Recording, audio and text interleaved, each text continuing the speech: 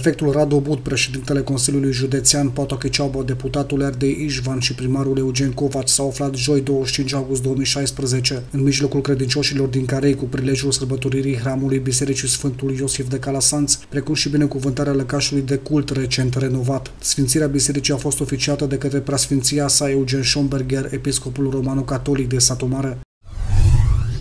Cea de-a 18 ediție a Zilelor Iancului a avut loc duminică 28 august 2016 în satul aparținător Careiului Ianculești. Evenimentul a debutat de la ora 12 cu deschiderea oficială. Au fost prezenți primarul municipiului Carei, Eugen Covaci, consilieri județeni, respectiv consilieri locali. Primarul Careiului s-a angajat în fața Ianculeștenilor să dezvolte satul aparținător. Primul angajament, asfaltarea străzilor, apoi urmează reabilitarea clădirii fostei școli, respectiv transformarea acesteia într-o sală de evenimente.